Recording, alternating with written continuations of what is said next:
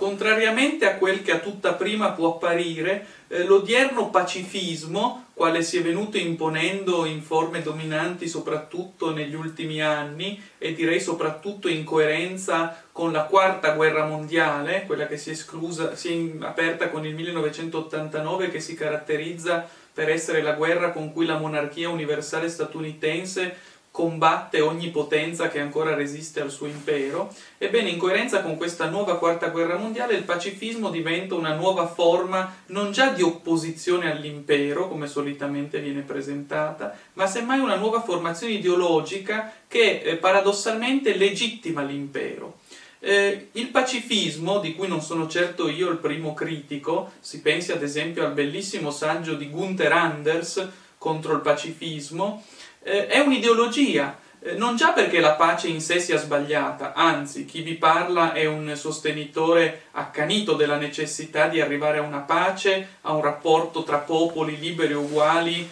in forma irenica e privata dal, da conflitti militari e tuttavia il pacifismo non è per nulla una via per raggiungere questo obiettivo. Il pacifismo oggi, più precisamente, per dirla in maniera telegrafica, è una forma di legittimazione ideologica dell'ordine dei dominanti. Il pacifismo è il modo in cui si riconosce, potremmo dire, il monopolio della violenza organizzata dei dominanti, è il modo in cui si eh, neutralizza l'idea di una possibile resistenza al dominio dei dominanti. Il pacifismo è, in, altro, in altri termini, il modo in cui si eh, delegittima lo ius resistenzie da parte degli offesi del pianeta. Eh, l'errore teorico del pacifismo oggi mi pare essere essenzialmente duplice. Eh, in primo luogo il pacifismo delegittima lo ius resistenzie, eh, perché il pacifismo pone sullo stesso piano gli aggrediti e gli aggressori.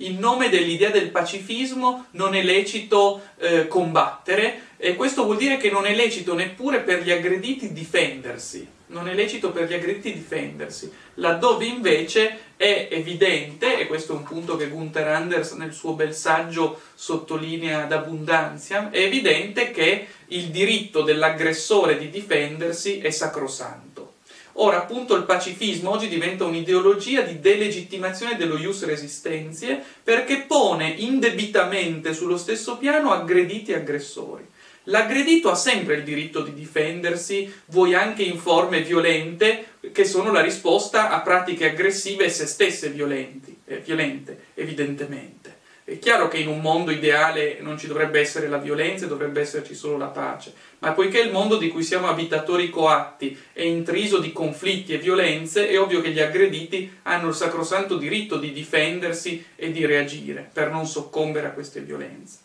In secondo luogo, l'errore strategico del pacifismo, o forse anche la sua velata ideologia, eh, è quello per cui eh, diciamo così, scambia il, il mezzo con un fine. Cioè appunto la pace deve essere il fine, l'obiettivo da raggiungere, ma non può essere il mezzo perché appunto in un mondo intessuto di conflitti e di violenza, eh, starsene con le mani in mano a subire in silenzio significa evidentemente ancora una volta legittimare l'ordine esistente intessuto di violenza e di soprusi. Da questo punto di vista, ripeto, il pacifismo, la pace, deve essere l'obiettivo, il fine, non può essere il mezzo. Questo vuol dire naturalmente, ripeto, che la violenza di per sé è esecrabile, certamente, ma è anche vero che in un mondo in cui la violenza dilaga, eh, gli aggrediti hanno il diritto di, di difendersi, di reagire a questa violenza. Subire in silenzio, secondo la parola d'ordine del pacifismo, significa, ripeto, legittimare l'ordine esistente intessuto di violenza.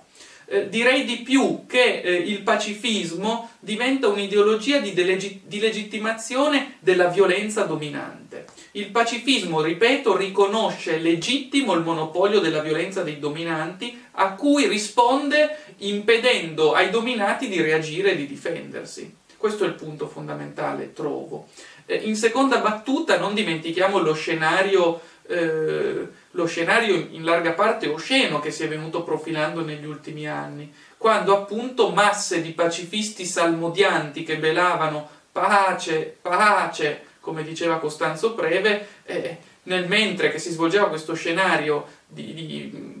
di appunto manifestanti che belavano pace, eh, gli aggressori stessi, gli imperialisti, eh, mettevano, apponevano sulle loro armi da guerra e sui loro contingenti militari la scritta beffarda Peace is our profession, is our mission, no? la pace è la nostra missione. Cioè appunto c'era orwellianamente una ridefinizione tattica delle parole chiave, in cui la guerra veniva chiamata pace, eh, l'aggressione imperialistica veniva chiamata, eh, veniva chiamata esportazione di diritti umani e così via. Tutto questo per dire appunto che bisogna certamente lottare per la pace e per farlo occorre respingere eh, in forme radicali la violenza che oggi è dominante sotto il sole, vuoi nelle sue forme più conclamate, i bombardamenti etici, umanitari che vengono imposti a tutti i popoli del mondo che non si piegano al dominio unipolare del mondo della monarchia universale, vuoi nelle forme silenziose invisibili della violenza economica